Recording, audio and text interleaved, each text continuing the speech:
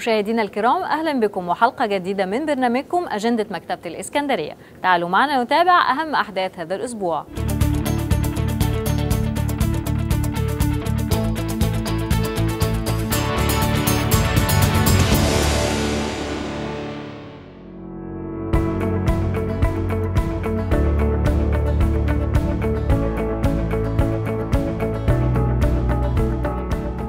نظمت مكتبة الإسكندرية من خلال مركز الدراسات والبرامج الخاصة بقطاع البحث الأكاديمي ندوة مجانية عن العلم المفتوح. تناقش الندوة مفهوم العلم المفتوح وأهميته في إتاحة المعرفة للجميع.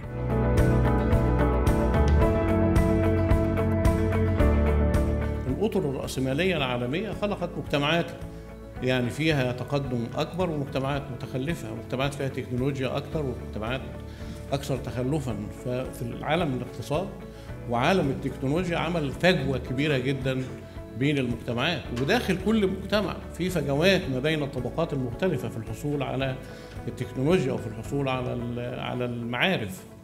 وأيضا النظم حتى النظم التي صنعتها هذه المجتمعات على مستوى العالم زي نظم التعليم مثلا أيضا خلقت أشكال من الفجوات. تركت البعض أمي جعلت فيه قدر كبير جدا من الأمية لدى كثير من المجتمعات ويبقى العالم كله الفكرة اللي كان بيتكلم عنها الفلاسفة في البداية فكرة غير موجودة. وفي أمي وفي متعلم في غني وفي فقير في تباينات كبيرة جدا في حتى وهذه التباينات في بعض الأحيان يعني بتضغط على فئات معينة من المجتمع مثل المرأة على سبيل المثال. يعني في مجتمعات كثيره نجد إن المرأة أكثر يعني انعزالا وأكثر تهميشا في في المجتمع.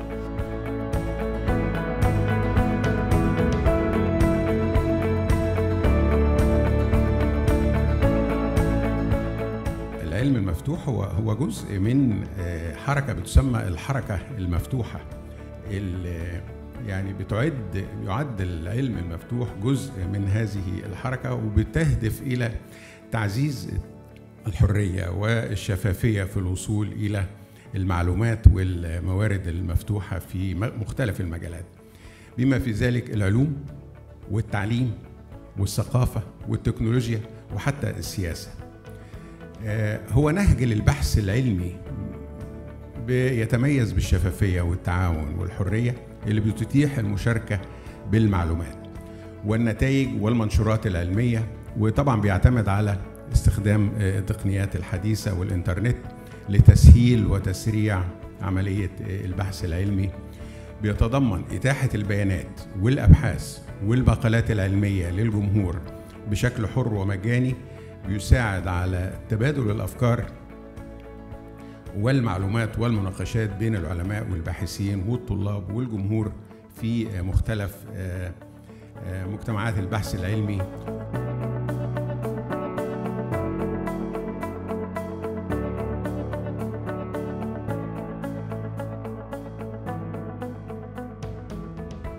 يعني بعض الملامح عن جهود أكاديمية البحث العلمي والتكنولوجيا في دعم العلم المفتوح. الأكاديمية حقيقة يعني يعني يعني منذ 2008 أو 2007 2008 2009 وقبل طبعا أن أشرف بال بال بالالتحاق بالأكاديمية وهي عندها رؤية وعندها نظرة وعندها مشروع بتشتغل عليه على مدار ما يقرب من 15 سنة دلوقتي في مجال العلم المفتوح.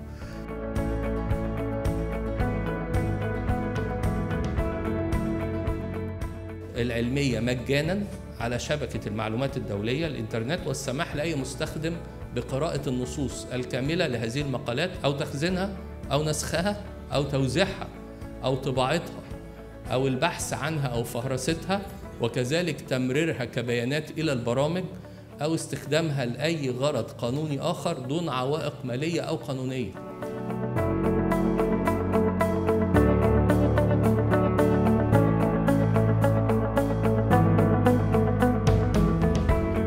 العلم المفتوح هي مثال حي لربط المجتمع وتغيير ثقافته إلى ثقافة علمية.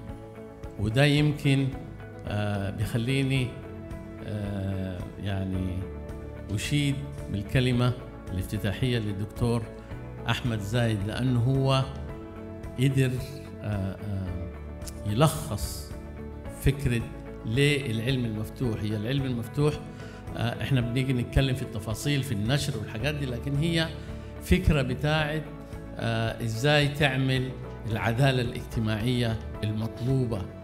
العلم إذا كان آه، اعتبرناه آه، آه، public good then everybody should have it.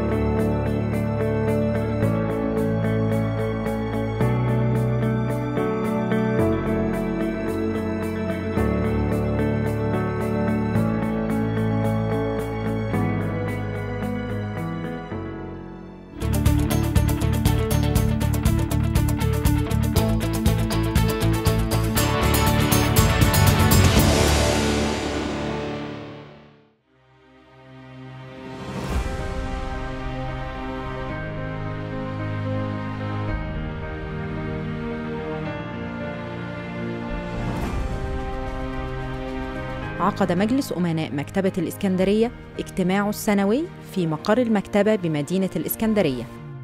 واستمع مجلس الأمناء بتشكيله الجديد إلى تقرير شامل من الأستاذ الدكتور أحمد زايد مدير مكتبة الإسكندرية استعرض من خلاله رؤيته الشاملة لتطوير العمل في المكتبة.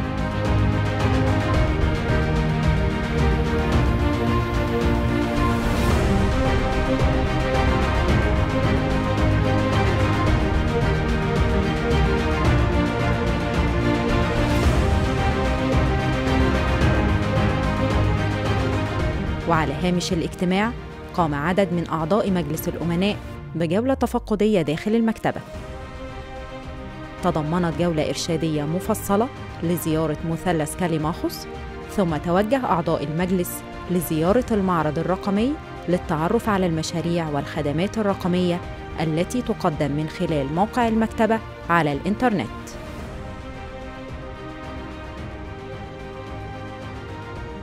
تلا ذلك زيارة عدد من المعارض والمتاحف.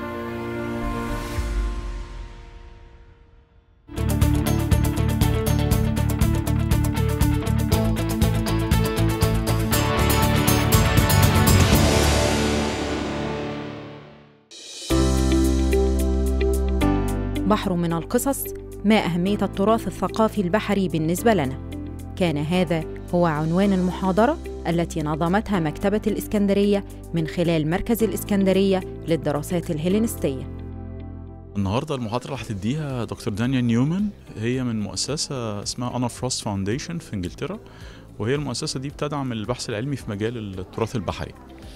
آه، هي دانيال الدكتوراه بتاعها في إزاي نقدم الآثار للناس لل public يعني. يعني إحنا عندنا مشكلة في إن بتوع الآثار بيكلموا بعض دايما لكن ما بيكلموش العالم الخارجي يعني. آه، فهي شغلها في القصة دي إزاي نتواصل ما بين المجتمع بتاع التراث والآثار وازاي الناس تبقى عارفة عن الحاجات دي وتهتم بيها وتحميها وتحافظ عليها وكده ده ده شغلها يعني آه، فبتتكلم عن اللي بنسميه ال outreach يعني أو ال public engagement إزاي نعمل engagement لل public في مجال ال- ال- العمل الأثري بالذات فيما يتعلق بالتراث البحري يعني سواء بقى ده كبار أطفال متاحف اونلاين مطبوعات كتب برامج documentaries أفلام كرتون كل دي وسائل لل public engagement ده يعني.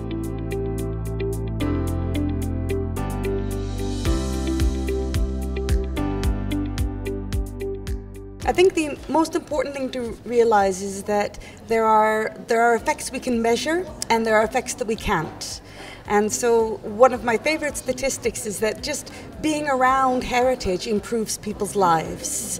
Uh, and having the opportunity to engage with it uh, improves so much uh, the social cohesion of a community uh, and, and, and an individual's well being, so their sense of happiness. And so it's important uh, for those of us who work in heritage to help uh, allow, allow those, those connections for, for people to make. So allow people to connect their heritage and for the heritage to connect with the people.